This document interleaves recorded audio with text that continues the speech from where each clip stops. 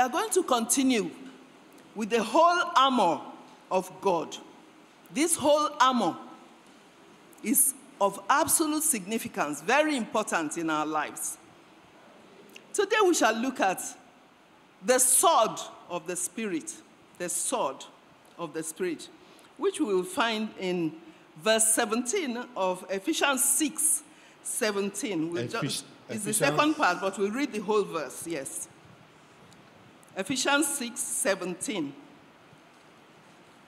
Ephesians 6, verse 17. And take the helmet of salvation and the sword of the Spirit, which is the word of God.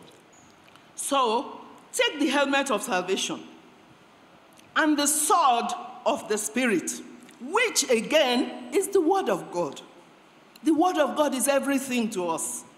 This sword of the Spirit is very important. This part of the armor is different from the other parts. Why? What makes it different? Because it is both an offensive weapon of attack and a weapon of defense. When we say offensive weapon, we don't mean you don't offend me. oh. This word where you talk, I don't like them, oh, they vex me. oh. Not be offense of that. Not be that kind of offense. When the disciples, the 70 disciples, will not listen to Jesus, they were grumbling in their hearts. Jesus said, ah, ah, this one they offend you. John 6, 61. You can write it and check it. So he knew what was happening in their hearts. And he said to them, Does this offend you? Not be that offense, oh, now we they talk. This is an offensive weapon of attack. It is a military language. Offensive. You use it to attack. The only person when they offend, nine we they use them take attack. And that person is our adversary, the devil. Now they vex when we they know this word of God. Now they vex when we use the sword of the spirit against him. Go to vex him, go to offend him. But apart from offending him, it attacks him. Praise God. So it is both an offensive weapon of attack and an offense to him. You know what make we know our papa language at all? You know what make we know? It's an offensive weapon of attack. But also, it is a weapon of defense. Praise God.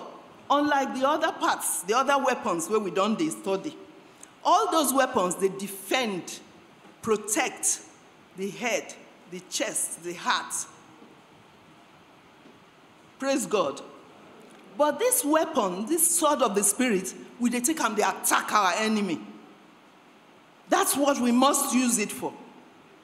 This means that while these other weapons defend and protect certain parts of the body, this one, which is the sword of the Spirit, protects the whole body. Praise God. The whole man, the whole personality. It protects us as a whole. How does it do this? It restrains the devil, it resists the devil. Ordinary bad people, when they bring out that their small thing, then show person. Ah, fear not, they let person talk again because you don't see the weapon we carry. Praise God. Now, so when we show the devil the weapon of the sword of the spirit, it restrains him. Listen, this one, knowing Papa, he knowing Papa word. So it restrains the devil, it resists him. In James 4, let's look at James 4. James is straight after Hebrews.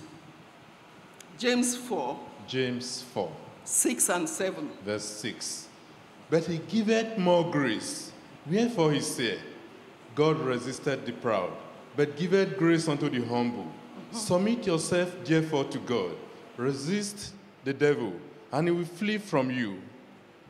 The, verse 6 tells us God resisted the proud. How does he do it? If a proud person they talk to God, he doesn't even listen. He doesn't even recognize him. He doesn't even give him a chance. He has no time for him.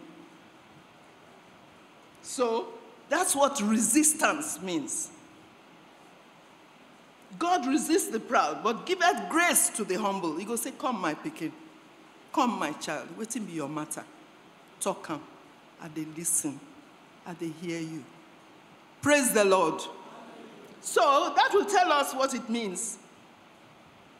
In verse 7, submit yourselves, therefore, to God. Resist the devil, and he will flee from you. When you resist somebody, you don't even recognize him. When you resist the devil, you go, they go up and down. You know, say you're not, a, you're not a rest. He's a restless creature. He goes up and down. So you don't take notice of him. He go try to distract you. You not go, you not go notice him whether he distract you or not. Nothing, no response. We are dead to his, his temptations, dead to all his attacks. He doesn't touch us. Praise God. So that's what it means to resist the devil because the sword is very quick and powerful. Let's look at Hebrews. Hebrews chapter 4. Hebrews 4. Verse 12. Verse 12.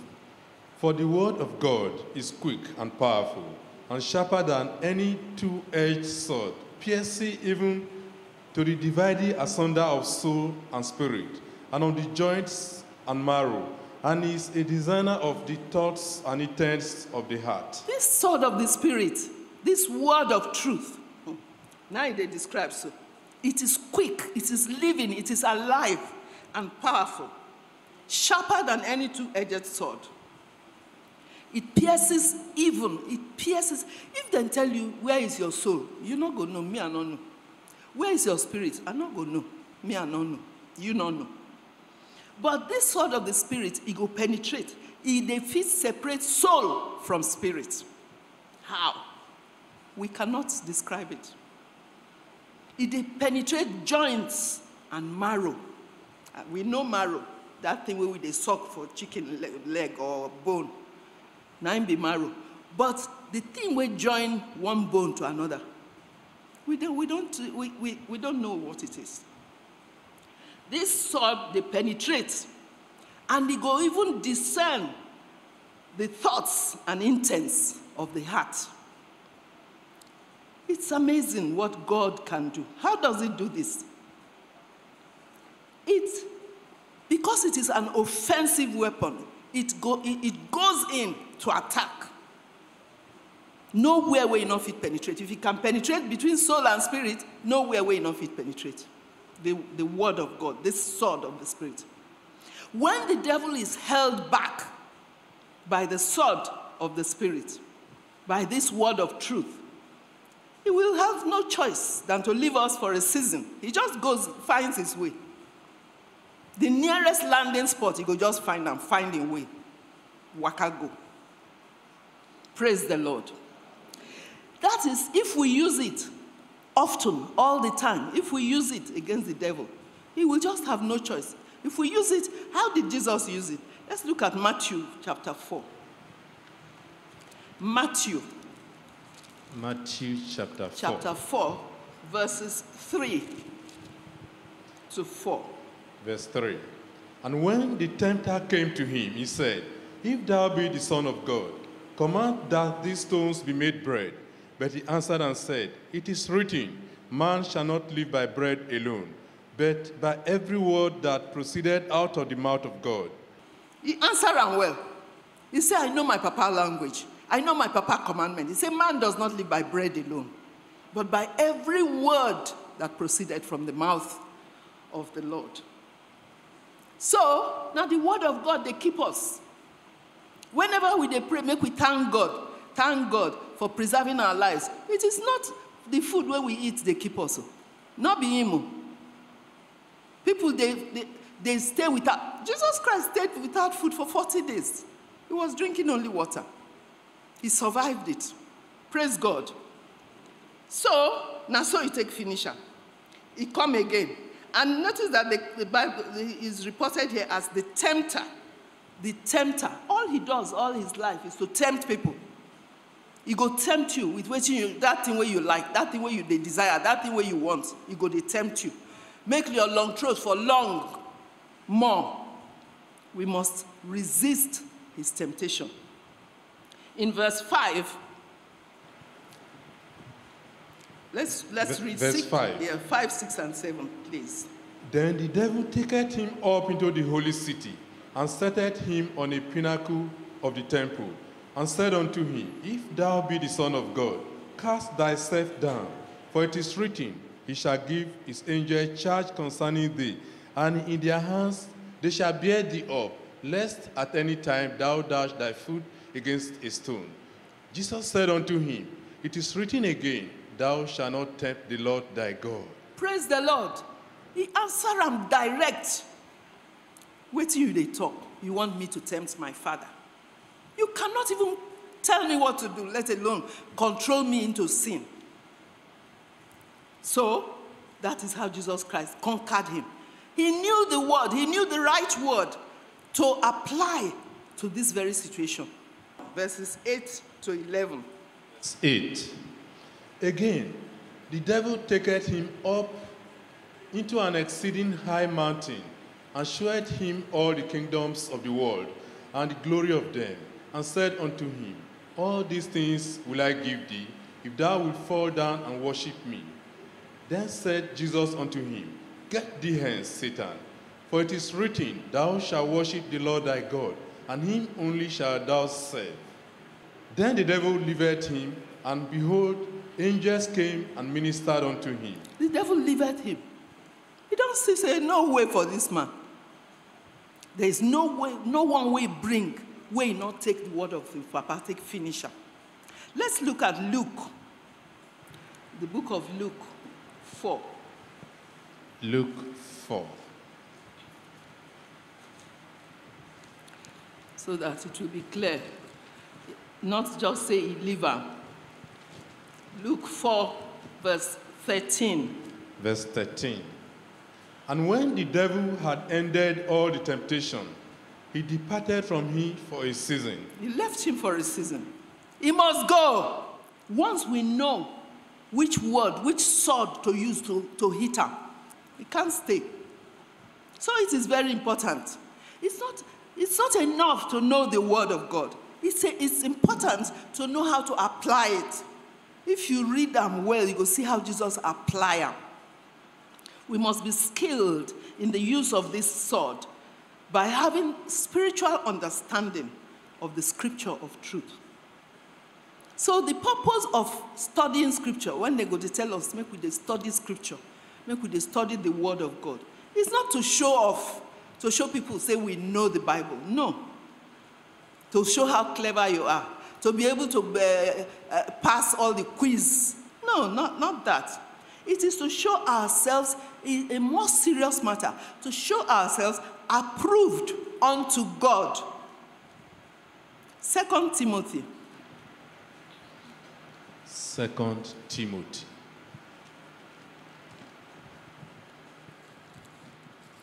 Second Timothy 2. 2 verse 15. Verse 15. Study to shew thyself approved unto God, a workman that needed not to be ashamed, rightly divided his word of truth.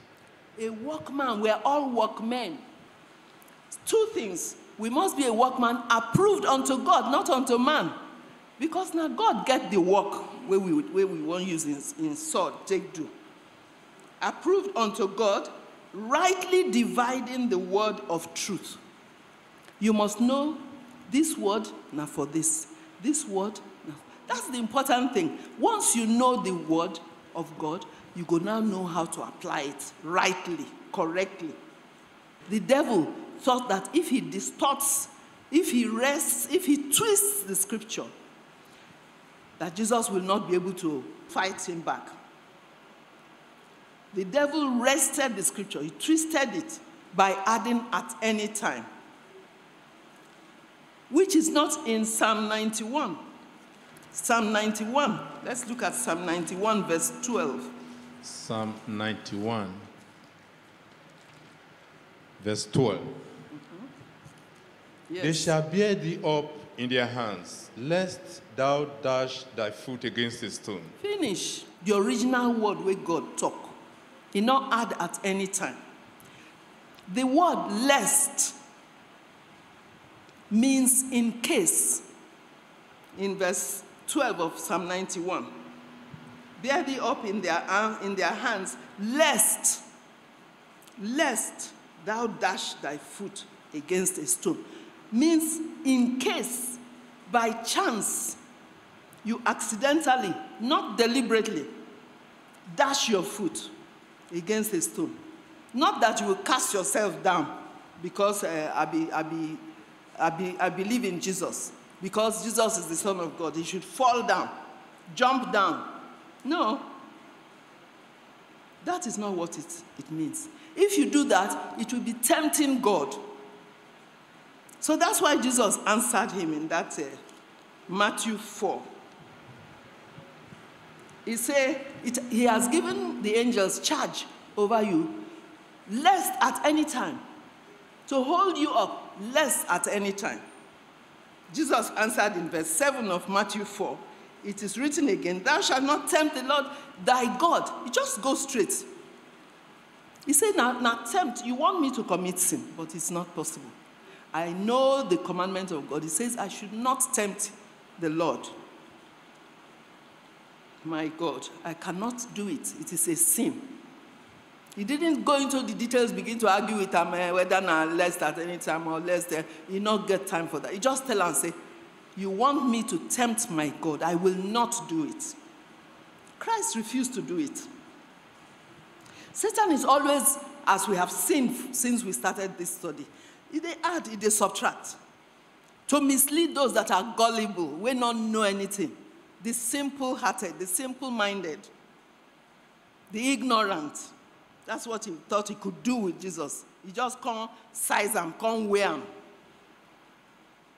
But Jesus knew his responsibility was to, he must identify the particular scripture that is applicable in, his, in every situation.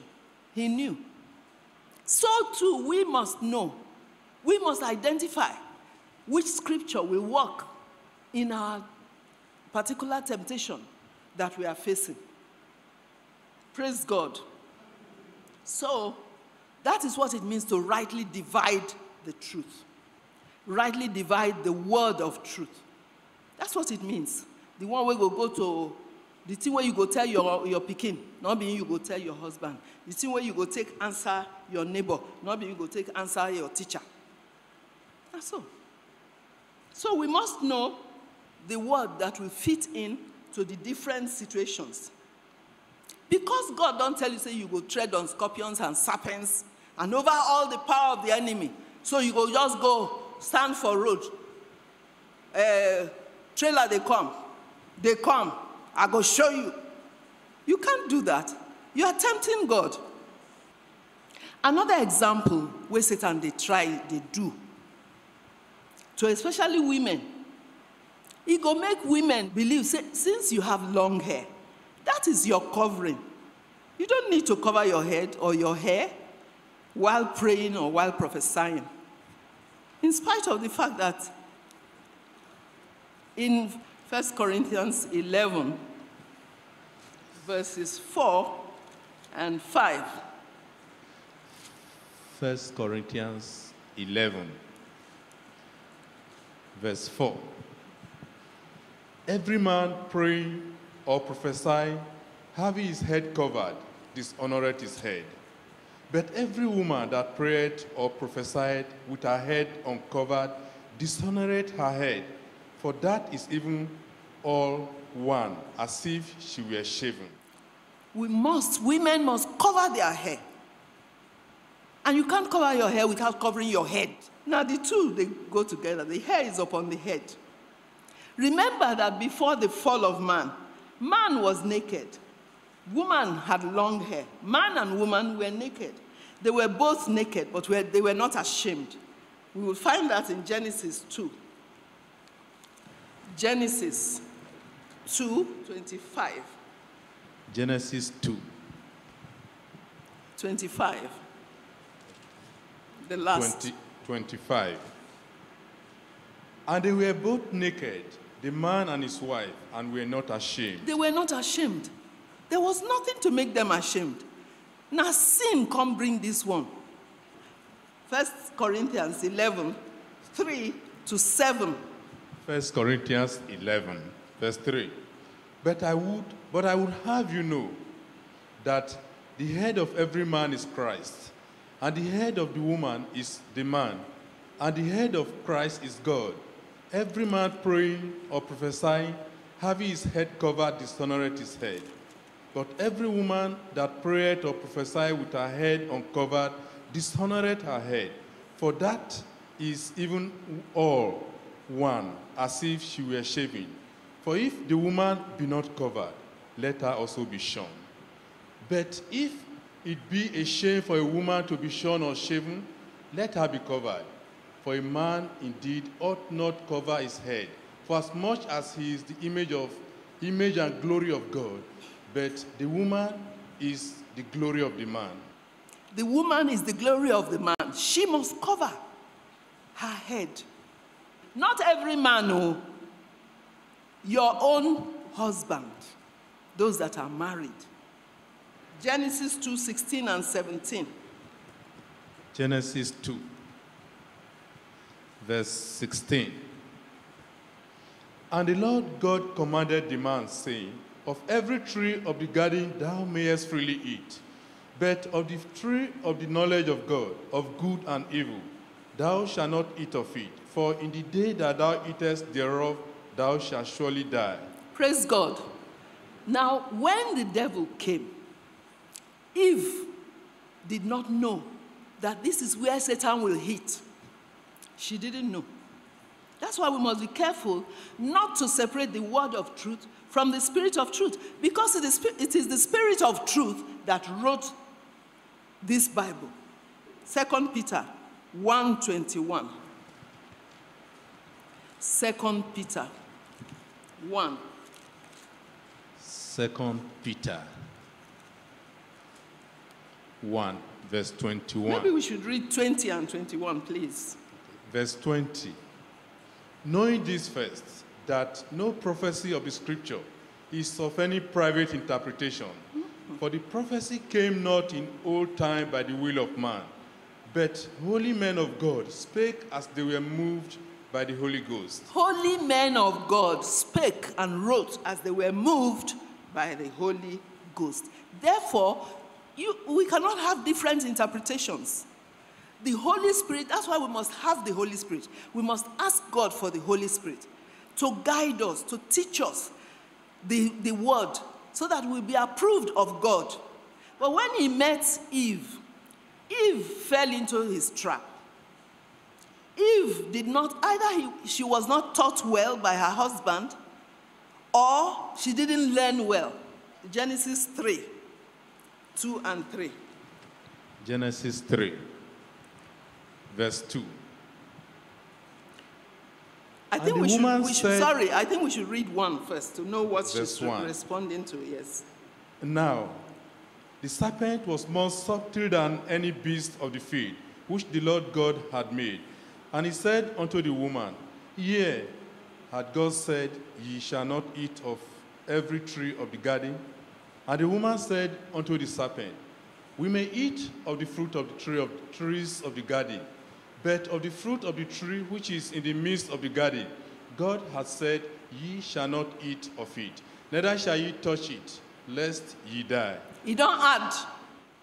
She was caught unawares. Not be the same way God tell him, tell him husband, now he talk. He go add, neither shall you touch it, which is not in what God said in chapter 2, verse 16 and 17. As soon as Satan began to attack, the first thing he attacks is the word of God, the word of truth. Satan now started by questioning God's word, and in defense, Eve was in trouble. So, it is important for us to know our Father's word, his voice. When he is talking, we should be able to know. When another voice enter, we should be able to know. Ephesians, Ephesians 6. Ephesians 6, Ephesians 6, verse 15.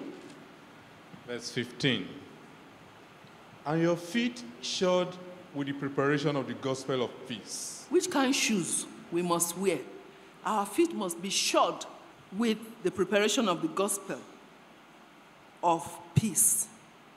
This gospel, they bring peace between man and God, between us and God, between man and man. This gospel. So we must wear that shoe. The shoe where we go wear, now the preparation of the gospel of peace. That shoe where they give us peace with God, peace with one another. Not be shoe where they buy for market oh. too. Now shoe, spiritual shoe, where go help you to stand firm, to have steadfastness in your mind, steady mind that will enable you to fight any battle with the assurance of victory. Because the battle is not yours, the battle is the Lord's. Now, who get battle now go prepare the plan for the battle? The battle is not our own. So if we go to Second Chronicles, Second Chronicles 20, Second Chronicles 20, hmm. let's read 15 and 16. verse 15. And he said, Hearken ye all Judah, and ye inhabitants of Jerusalem, and thou King Jehoshaphat, thus saith the Lord unto you, Be not afraid nor dismayed by reason of this great multitude, for the battle is not yours but God's. Tomorrow go ye down against them. Behold, they come up by the cliff of Ziz, and ye shall find them at the end of the brook, before the wilderness of Jeruel. Now you get battle. Person wey get battle know where the enemy dey. Know which day you go move. Know which time you go move. Know where you go meet them. So when God sent his, his uh, servant to tell Jehoshaphat, say, this is how you now go fight this battle. Let's look at verse 22. Second Chronicles 20, 22. Yes. And when they began to sing and to praise, the Lord set ambushments against the children of Ammon, Moab, and Mount Seir, which were come against Judah, and they were smitten. Ammon, Moab, and Mount Seir teamed up to fight the people of God. Then ready come oh, from their house, then prepare come. But when the children, when God don't tell in people, say not be by fasting, not be by praying. I don't hear. Now me, leave the battle in my hands. I will do what I need to do. I will finish these enemies for you. I know where they are passing, the road where they pass. I know. When they go past, I know. Listen to my servants, and you will get them. Finish them. Jehoshaphat believed, and every one of them obeyed. The Holy Spirit inspired him. This is the time to praise God. He has fought the battle. For you to know the secret of the enemy, the battle is won. So, they obey. Then begin sing. Then begin praise God. Now that time, now God set ambushments against Ammon, Moab, and Mount Seir. Three people, three nations were ready, come, united, come. At this point, they were no longer united. Make them come unite. Make them come unite. When Jesus Christ is, the, is, the, is leading his own children into battle, in the, they're not fit unite again. Ah, uh-uh. Waiting cause quarrel. They're not fit talker. They couldn't place it. This one fight. He said, verse 23. Please, let's read Ve- verse Verse 23. 23. Yes. For the children of Ammon and Moab stood up against the inhabitants of Mount Seir, utterly to slay and destroy them. And when they had made an end of the inhabitants of Seir, everyone helped to destroy another. You see, they, two of them begin to fight the third one. When they finish that third one, the two were, were been be before, then begin destroy themselves. All of them clear themselves. Nothing remain, no one remain. Make we hear the word of God, because God will confirm the word of his servant. He will perform the counsel of his messenger. When the messenger delivers the message as God has said, it will be so. Nothing can stop it. Praise God. So, when we when we think that we know this scripture, we must ask the Holy Spirit to help us, to show us how to use the scripture, how to apply it, how to attack Satan, how to deal with Satan. He said uh, it is a good thing, it is wise to win souls. But how do you win souls if you are not wise in the skill of using the word of God? It is wise to win souls, witnessing, evangelism. The sword of, but the sword of spirit must be on the forefront as an offensive weapon of attack against Satan, oh, not people. Oh. People go want to, to, to, to, to, to fight you because you came to, to witness to them. But be careful, may they not drag you into what you not come do. They will throw many questions at you. If you are not skillful in the use of the sword, to quote the right scripture at the right time and correctly explain it, you might fall into their trap. If we look at Psalm, Psalm 73, verse 2. Verse 2. Mm-hmm. But as for me, my feet were almost gone. My steps had well nigh slipped. He said, My feet were almost gone my steps had well nigh slipped. He nearly slip. The ground can't slippery for her. Whereas not being God makes slippery ground for, and for the wicked. He didn't know what he was doing again. In mind confused. He was frustrated. Why, why, why? Too many whys, too many hows. He didn't know how to answer the question. So we must exhibit steadfastness in this battle. It is a noble cause we are fighting. The, the, the battle is not ours, it is the Lord's battle. Think of somebody who is in an armored tanker. Let's look at Colossians. I think we know it in the armored tanker. Tanker, where soldiers go there inside, you go cover them, finish, then go only put leaves on top. You're not going to know whether person there in this book of Colossians, chapter 3, verse 3. Colossians 3, yes. verse 3. For ye are dead, and your life is hid with Christ in God. Our lives are hidden with Christ inside God. We not they, not be we, not be we they fight. Now God nine day. Now God nine be that uh, armored tanker now God, now Jesus Christ. Once we dey inside Christ, we not go worry again because all the arrows fell on Jesus, fell on that armored tanker. That is the shoes of the preparation of the gospel of peace. Now we're going to look at prayer. Jesus fought with prayer and conquered with prayer. Prayer is the master key. It's not master's key. Not be the key of the master. When you say master's key, it means the key of the master, Jesus. No. It is the key, the master key where they open every door. Jesus wants us to have the master key as he has it. Praise God. So, the place of prayer, as the sword is a weapon, so also is prayer.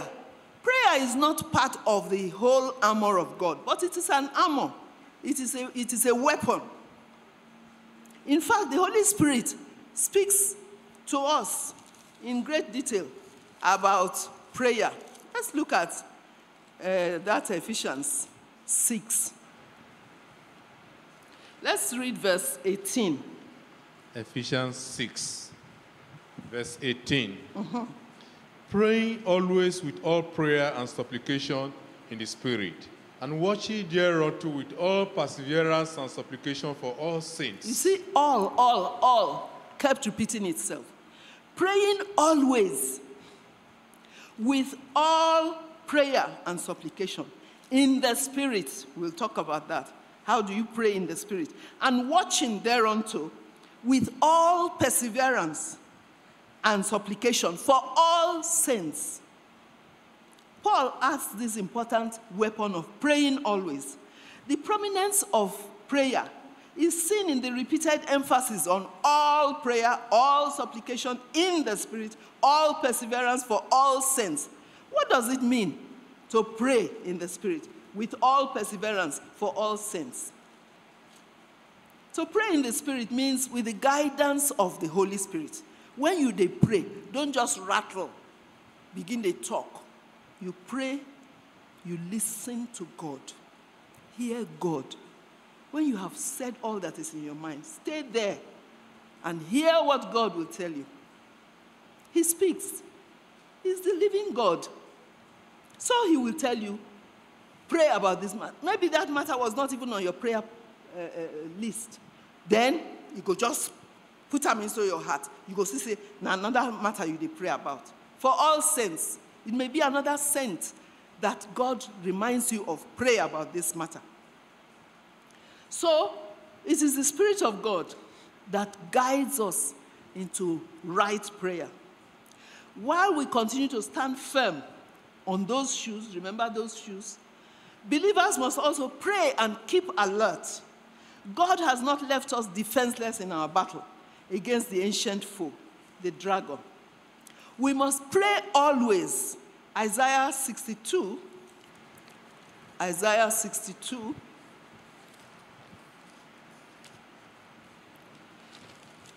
verse 7. Isaiah 62, verse 7. And give him no rest till he establish, until he make Jerusalem a praise in the earth. Don't you see? Jesus, you go pray when he did pray for the garden of, the, of, of uh, agony, when he was agonizing in the garden. You go pray.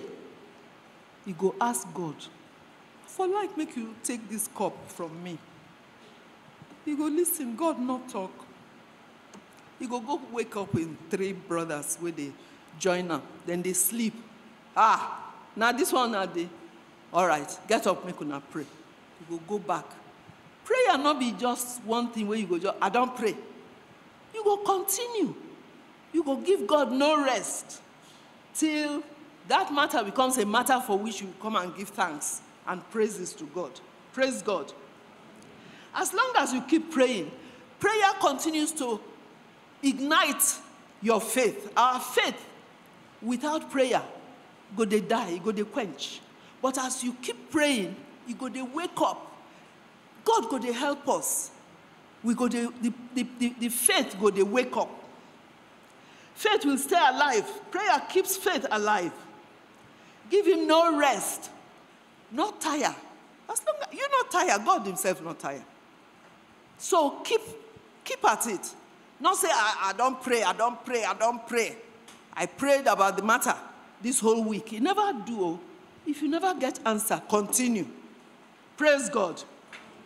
So prayer is often neglected. People will say, waiting, they waiting prayer go do. If they walk, if they walk, praise God. It is a neglected weapon against the devil. It works. But in many critical moments, Jesus prepared himself through prayer. The agony in the garden. Let's look at Matthew 26. Matthew 26. Matthew 26. We shall read from 36 to 46. 36 to Ver- 46. verse 36. Then cometh Jesus with them into a place called Gethsemane, and said unto the disciples, Sit ye here, while I go and pray yonder. And he took with him Peter and the two sons of Zebedee, and began to be sorrowful and very heavy. Then said he unto them, My soul is exceeding sorrowful, even unto death. Tarry ye here and watch with me.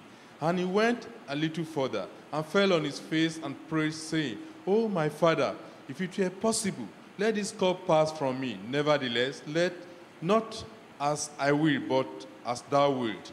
And he cometh unto the disciples and findeth them asleep, and said unto Peter, What? Could ye not watch with me one hour? Watch and pray, that ye enter not into temptation. The spirit indeed is willing, but the flesh is weak. He went away again, and the second time, and prayed, saying, O my Father, if this cup may not pass away from me, except I drink it, thy will be done. And he came and found them asleep again, for their eyes were heavy.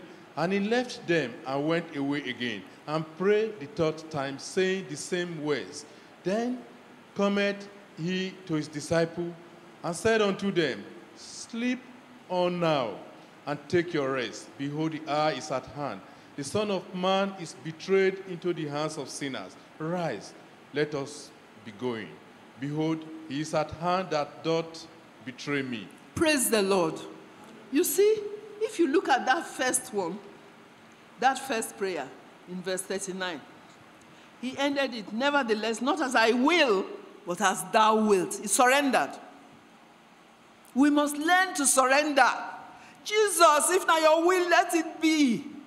I'm not going to change your will, can I? No, I'm not going to fit. Let it be. Help me to receive it. That's all. That's all. Once you surrendered, the rest now God get them. You can we can do nothing without Jesus Christ. Nothing. Surrender. Because now he create us, now get us. Praise the Lord. So, the next one when he pray, verse 42. You see, he, mo- moved a little. He, he, he said, If this cup, oh my father, oh my father, if this cup may not pass away from me, except I drink it, thy will be done. You don't surrender. Don't argue with God. You go fit argue with God. Those where they are, we argue with God since then, where then they? May God help us to surrender absolutely. He will help us. We don't have power to do it, but His grace will help us. His grace will be sufficient. Praise the Lord. You see, um, they move. The prayer, they move. The Spirit of God, they help them. They move. You see? He said, Let thy will be done. If, if it be, say, now this cup not go pass from me, except I drink it. Oda, I surrender. Let your will be done. Praise God. So by the time he, the third time, he prayed this, this third time, saying the same words. But we know that even though it is the same words, he has totally surrendered by the third time. It's finished. Say, my father, do your will because your will is good, your will is, is perfect, your will is acceptable. Who will be the person who will not going to accept your will? Your will is good, perfect, and acceptable. I accept it. That's what he must have said. There's no need repeating it. Praise the Lord. That is the battle of prayer. And it works. He will help us, He will see us through. When we battle in prayer, don't argue with God. Don't be fearful. He's equal to the task. His strength, he said, His grace will always be sufficient. Waiting with a fear. Waiting never happened for world before. Is there anything? Is there anything new under the sun? Ah, if it is God's will, it must, it must come to pass. There's nothing we can do about it. That's all. Praise the Lord. So prayer is important, but we mustn't argue with God. Hebrews, Hebrews 5. Hebrews 5, verse Hebrews, 7. Hebrews 5, verse 7. 7. Who, in the days of his flesh, when he had offered up prayers and supplications with strong crying and tears unto him that was able to save him from death I was heard in that he feared. He feared God. Jesus feared God. When he had prayed in this garden, agony in the garden, when he had prayed with strong crying and tears unto him that was able to save him from death, He said, you go, I'm not going to remove this death, this cup. You have to drink it, my son. It is for your good and for the good of the world that you have come to save.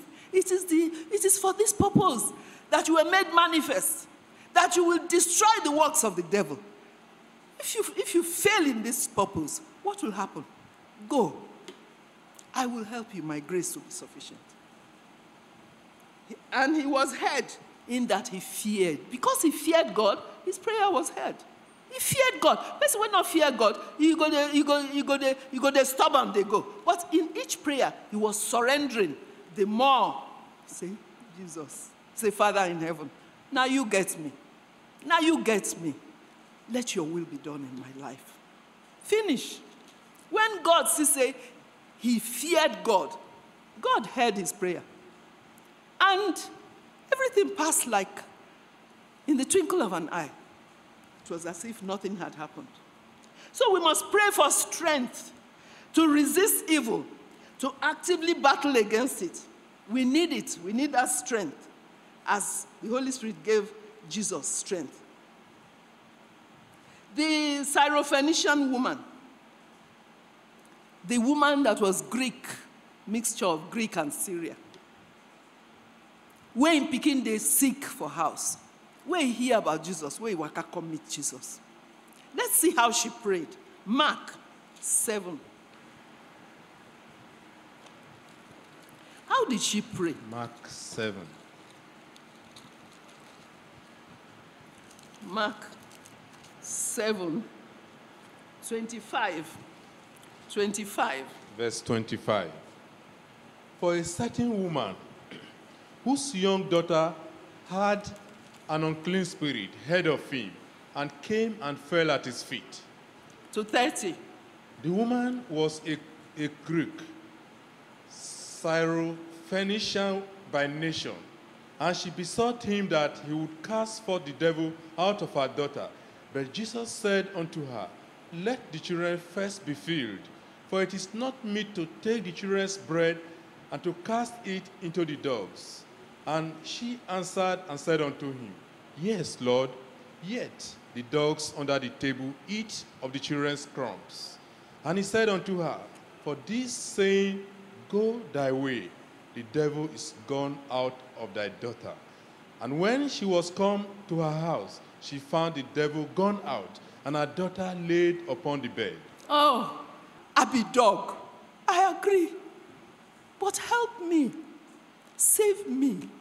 Dogs, they eat the, the small one when they fall under the table. I beg. Now that one I ask for. Oh, Jesus said, This is faith indeed. This is wonderful. For this saying, Go, it is well with your daughter.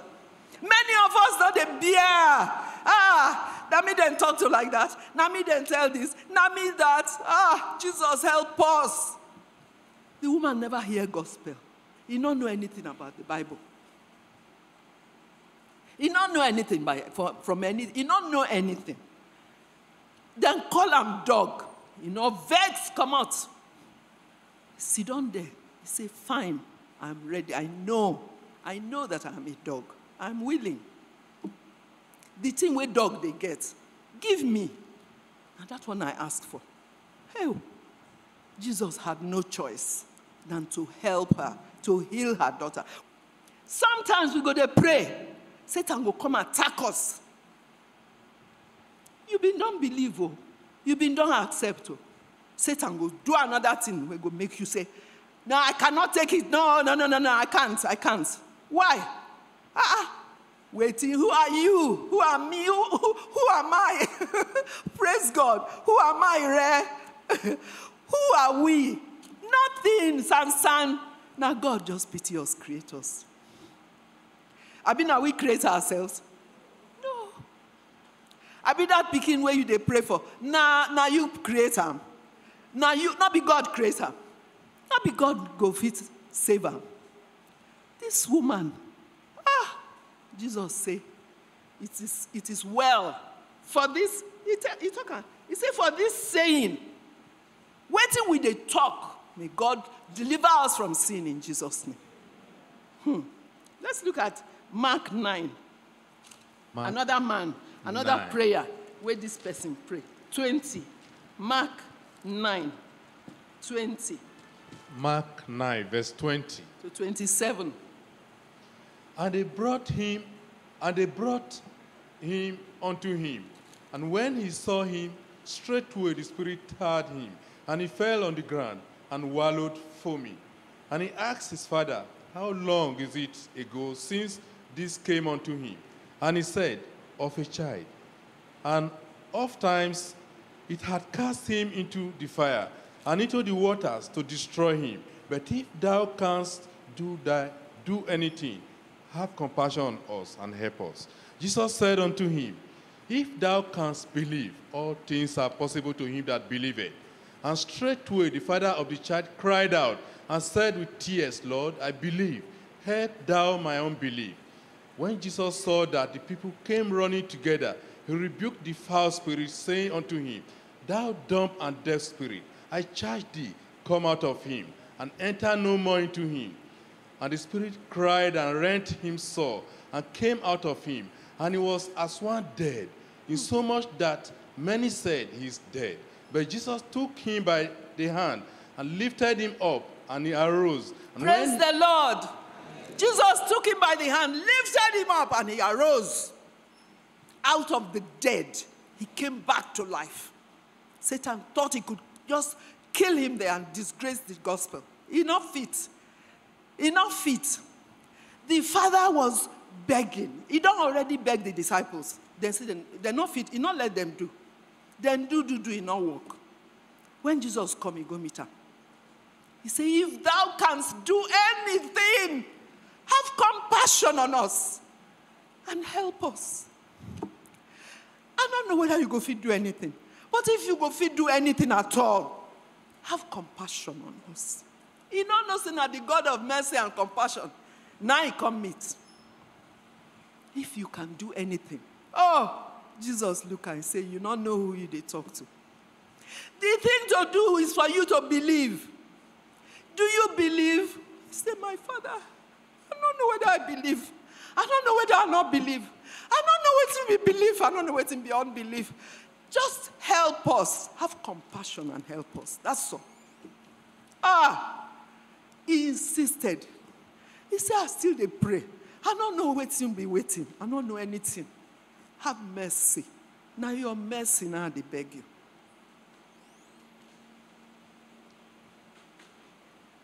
So, now so it can be. It can, the, the pikin come well. Praise God. That's what God they do. That's what God they answer our prayer. We must insist, cry, believe.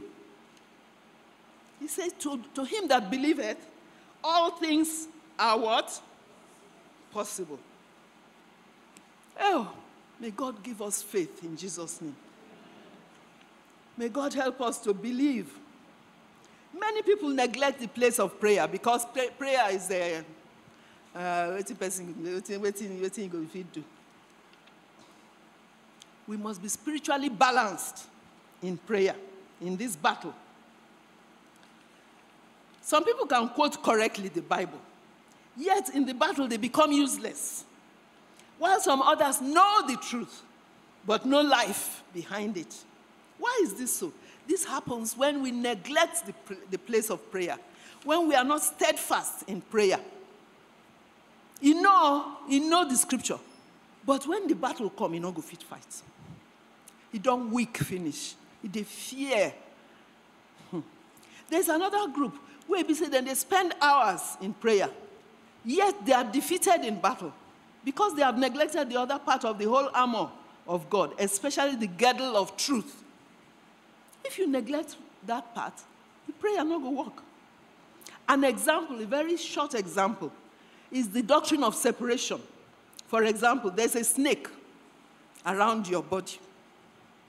You are praying. You know the snake is there. But you refuse to separate yourself from that snake. Let's quickly look at Acts 28, towards the end of Acts of the Apostles. Acts of the Apostles 28. 28. This thing happened to, to Paul Acts 28, 3, verse 3 and verse 5. Acts 28, verse 3. And when Paul had gathered a bundle of sticks and laid them on the fire, there came a viper out of the heat and fastened on his hand. Verse 5. And it shot off the shook. beast, and he shot off the beast into the fire and felt no harm. Praise the Lord. You say you see what happened.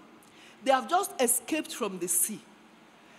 The, their ship nearly scattered. In fact, it's scattered. They just managed to land somewhere. So, the first thing now to go and look for firewood. Cold, everybody they shiver. Paul, of all people where they there, oh, Paul, where, they take prayer, they support the journey. Nine snake, na firewood you just go gather. Snake come out of the firewood, round in hand. Nine, Paul look am. The native people go, they say, ah, this man, he just escaped from the sea. Now another one he comes in, a bad man. He go soon die self. If this snake just bite him, now die, don't die. But Paul's mind was not shaken. Praise God. God go help us. He go give us such a mind and such a character. He just shook the thing out of his. He didn't pray. oh. No prayer. He shook it out of his hand, separated himself from that creature, wicked creature. And he was saved. Many of us, we know this thing, this person, or this thing, or this situation. If I not separate from this situation, it will affect my prayer. But we, we not the feet separate. Now God go do am for us in Jesus' name. God in heaven will help us to separate. He will help Paul. He go help us. That is how. If people don't believe in, this, in the doctrine of separation or do not understand the doctrine, they will not receive victory. May we receive victory, complete and total victory, in the name of Jesus. So, what we need is to give time to prayer. We need obedience to the truth, the girdle of truth. We need it to obey. We need to separate from the enemies so that Jesus goes say, our hands are free. No, nothing they tie our hand. May God help us in Jesus' name. We want to quickly look at the last part, which is the three parts victory. Victory. Now, victory, now we all want, I be not be victory, and victory. But there are three parts to this victory where God wants to give us. Where they give us, He don't give us. Some still they give us till the final victory. The victory of salvation. How person they get that one? When a child of God that is born again of this word of truth and of the Spirit of Christ receives this salvation, the victory of salvation is already accomplished. It gives us victory over the guilt and condemnation of sin. Let's look at Romans 8. Romans 8, 1 to 3. Or maybe we should read 2 and 3 first. 2 and 3, and then we'll come to read 1. Romans 8, verse 1. Sorry, verses 2 and 3 before we read 1. Okay, verse 2. For the law of the Spirit of life in Christ Jesus had made me free from the law of sin and death. For what the law could not do, in that it was weak through the flesh, God sending his own Son in the likeness of sinful flesh, and for sin, condemned sin in flesh. Now, verse 8 For this thing that Christ has done, yes. Verse, Verse 1, sorry. Verse 1. There is therefore now no condemnation in them which are in Christ Jesus, who walk not after the flesh, but after the Spirit. because of what God has done and Christ has done for us, there will be no more condemnation. Once we have given our hearts and lives to Jesus, we accept the word of truth and we receive the Spirit of Christ. This victory is accomplished. When Jesus died on the cross, he died in our place. He paid fully the debt of the wages of our sin by his death. It's finished. This victory of salvation is absolute, it's complete, it's irreversible, unless we go back, use our hand to put, to willfully fall into sin. Otherwise, nothing can take it from us.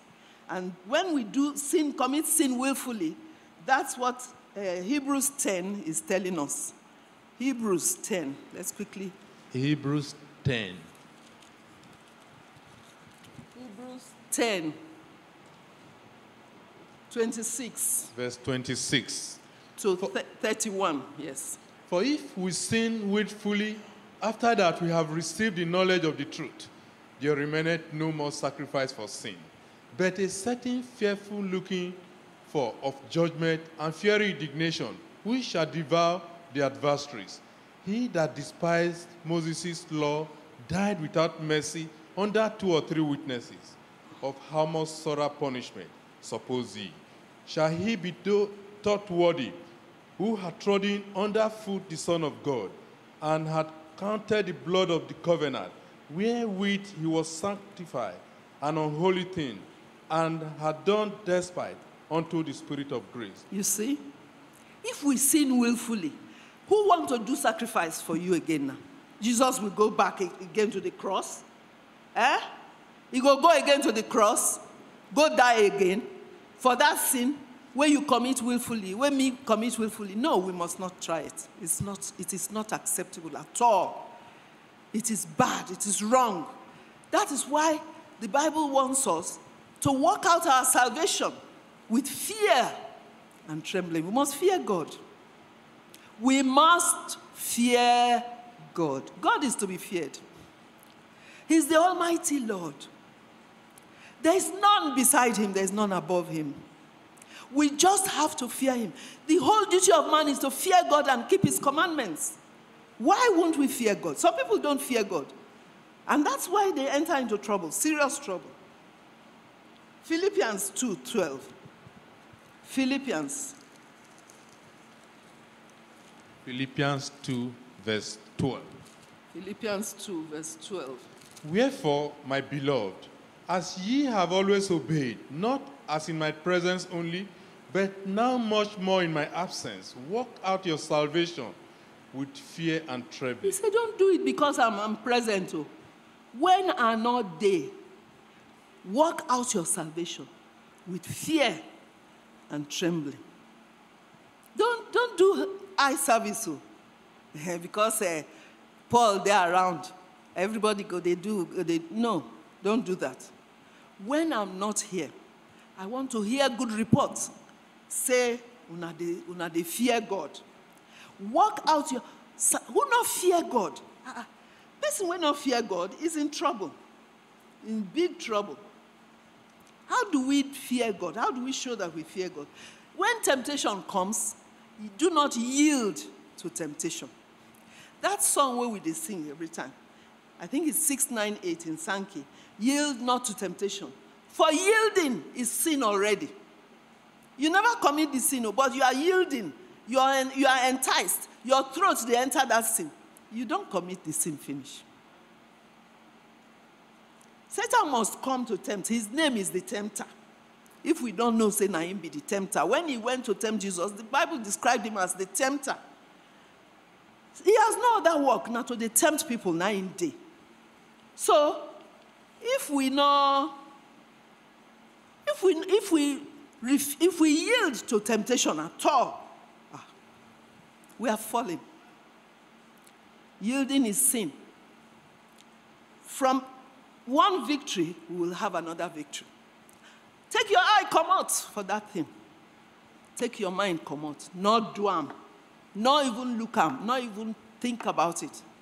Jesus will help us in Jesus' name. Another victory that we often we they get, now God they still they help us, It lies in our power to overcome sin. It's a continuous victory as we run this race.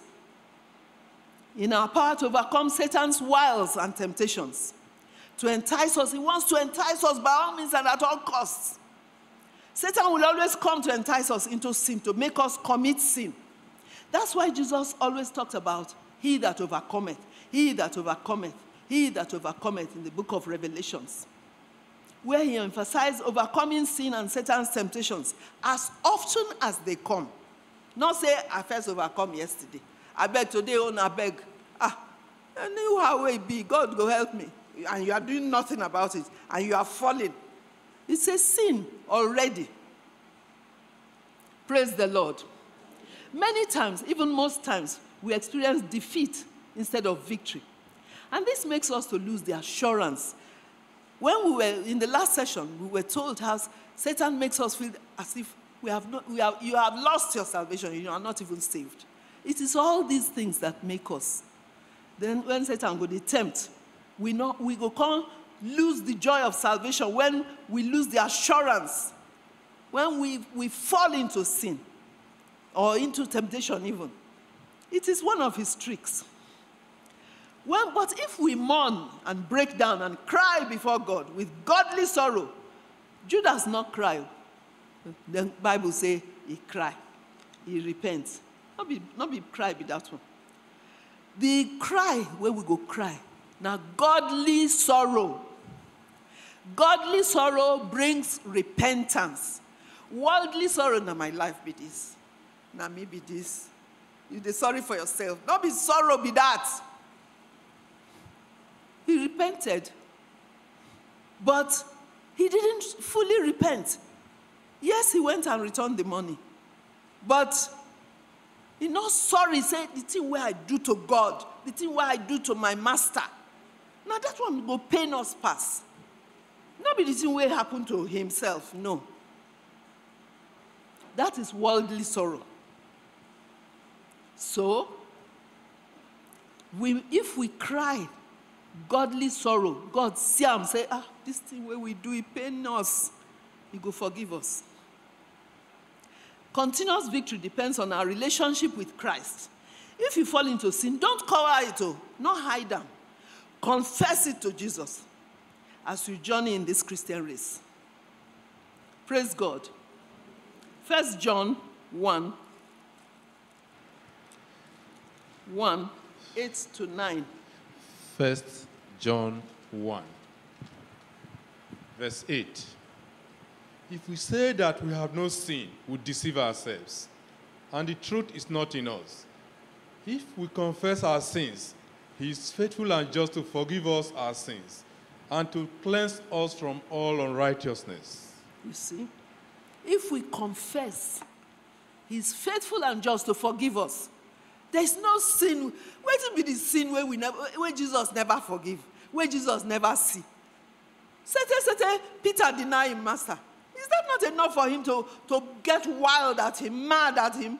But he forgave him. He's ready to forgive us. Satan going to tell us this your sin, it's too big, it's too big, you don't go fit. No, for, nobody can forgive you this one. He will forgive us. That's why he came. That's why he suffered and bled and died on the cross for our sake. Praise God. So he will forgive us. Another assurance we have is that Christ will always make a way of escape from every temptation. He will. 1 Corinthians 10. He will make a way. 1 Corinthians 10. 10, verse 13. Verse 13. There had no temptation taking you but such as is common to man. But God is faithful, who will not suffer you to be tempted above that ye are able, but will with the temptation also make a way of to escape, that ye may be able to bear it. They think of us, they worry for us, they think of us as the temptation they come, they make way how we go escape. This Jesus, this God, how will we fit thank him? He will, with the temptation, make a way to escape that we may be able to bear it. He knows our strength. He knows that we not even get strength at all. Ah, He will have mercy on us. Some of us not they fear God because we think, say, let's look at uh, Ecclesiastes. Ecclesiastes 8. When we fear God, we go repent. Ecclesiastes 8. Hmm. Ecclesiastes 8. 8. 11. Verse 11. Because sentence against an evil work is not executed speedily. Therefore, the heart of the Son of Man is fully set in them to do evil. Because we know the see where God they, they deal with people instantly, speedily. We go think say, eh, not gonna be God, he go have mercy. He go have mercy, go pity me, he go pity in people. So we don't repent. We don't confess. We just they go as if nothing had happened. It cost Jesus his life. The life, the blood is in the life. The life is in the blood. He shed his blood drop by drop for you and me. So we should fear God. Ah, ah. How we not go fear God? Proverbs. If we fear God, we go come out hand for sin. Proverbs 16, Proverbs 16, verse 6. verse 6. By mercy and truth, iniquity is purged, and by the fear of the Lord, men depart from evil. Wait, if you if person get God, we get mercy and truth, you discover by the truth, by his mercy, that this is where I went wrong. Father, have mercy on me, forgive me. We go to the throne of grace to obtain mercy and find grace to help in time of need. Uh-uh. He, he don't forgive us sins. Person will give his son to die for us. Till he not go forgive you. He go forgive us. But we must break down and mourn and weep and say, I'm not fit to be your son. The prodigal came back, said, I'm not fit. The father took him up, said, Not even finish your sentence. Come home. He took him home and gave him a robe better than the one he wanted to, he, he- he thought he could, he- he- he stole away. He didn't know there was a better robe still left in his father's house. There's always a better robe in our father's house for us to replace that one where we stain, where we spoil. He will give us a better robe. Praise God. If we break down, no, if we are sorry. So by mercy and truth, iniquity is purged, sin, they come out. But by the fear of the Lord, men depart from evil. You want to do this evil. Then you remember, say this God, eh? I fear you. Mm. You don't depart, you not go put hand. You not go even, you not go think come again, not to talk, say you try. Now go, you don't go. I don't go. Jesus, I don't go. I not go do am. I not go try. May God help us in Jesus' name. So, every victory we have helped us to win another victory.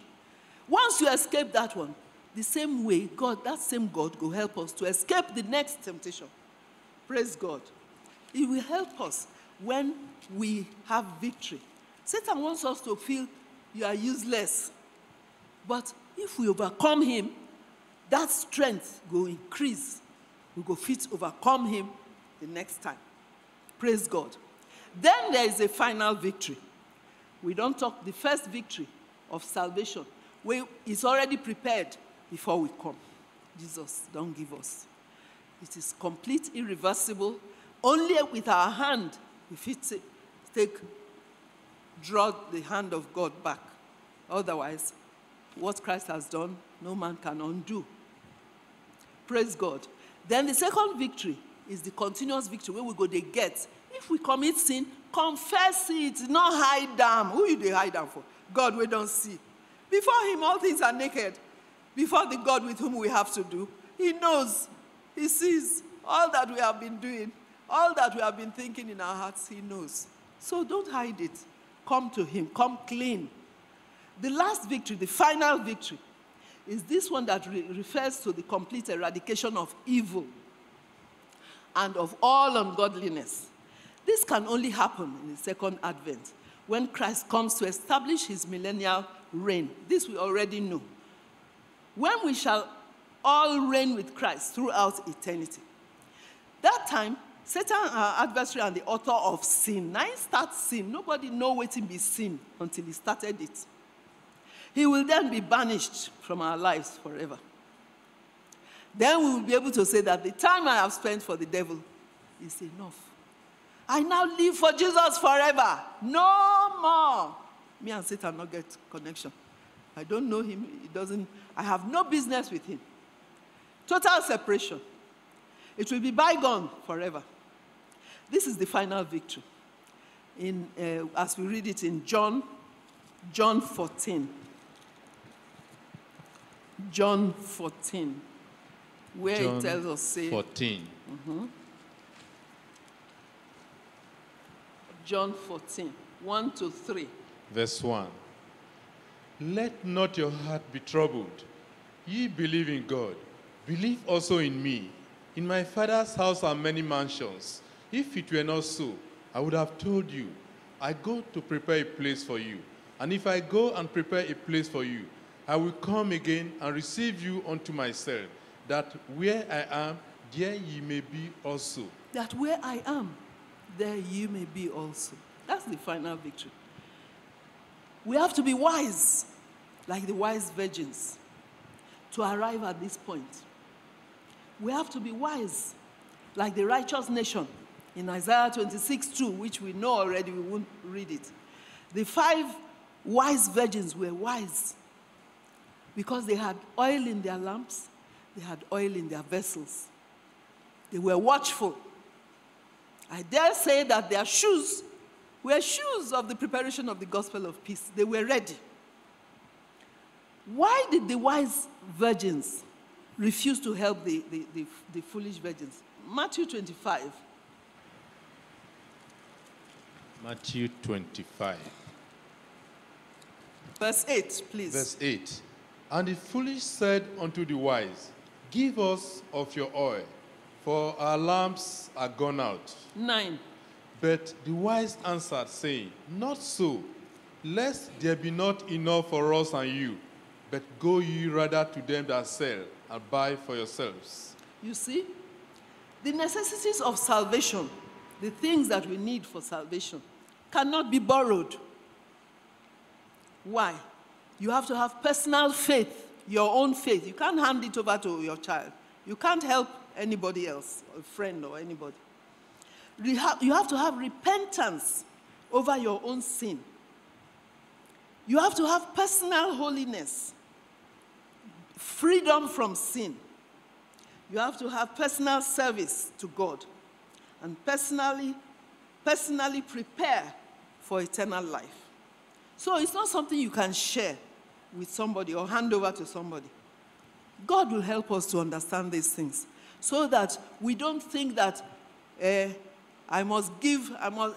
You, when there's, you see, you see this, this, this salvation, you can't give it to somebody. You can't transfer it.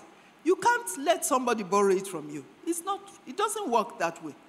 Each person, that's why only all, all that we can do is to pray for such people who don't have, so that God Himself will give them salvation.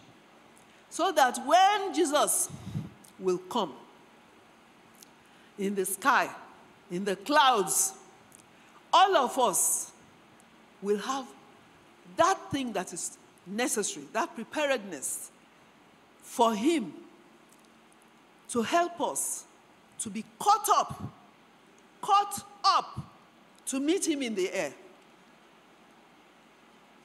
The only one fit help. The only one. He will, he will help us to be caught up to meet Him in the air. Very soon, He will come to take His people home. And then we will be caught up to meet Him in the air. We will be caught up to meet him in the air. We will be caught up, his blessedness to share. Very soon he will come to take his people home, caught up to meet him in the air. Praise God. We go pray now. We go stand up to pray. We tell Jesus to teach us all that he has been teaching us, all that he has been telling us. Make he help us to apply. It's one thing to know, it's another thing to apply this word that he has given us. And he will teach us to apply the sword of the Spirit, to be more prayerful, effective prayer, effectual prayer, prayer that avails much. He will help us to wear the shoes of the gospel of, of the preparation of the gospel of peace. Make it remove fear from our hearts. Let us pray. Father in heaven, we thank you for today. We thank you because you are the only one who can transform our lives, who can make us to be what you want us to be, who can make us to accept your will, who can make us to follow as you lead. Father, help us. In the name of Jesus. Let us pray. Let us pray that God will deliver us from that desire to tempt God. Jesus did not tempt God when he knew that that's where Satan was going. He said, My scriptures have told me that I cannot tempt my God. And Satan left him. Let us pray that God will help us to resist the devil in prayer. Pray with all your heart and believe. You not get belief, you they doubt. In fact, you have unbelief like that man. Tell him to change your unbelief to belief, to strong faith. Help me, oh Lord, help me. Father, hear this prayer which we have said in Jesus' most holy name. Amen.